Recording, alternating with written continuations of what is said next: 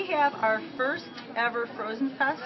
It's a wonderful event that combines um, not only a large community art show where we feature the artwork of over 100 community artists, but also fun family events that features um, a myriad of different activities that are winter themed for families to enjoy.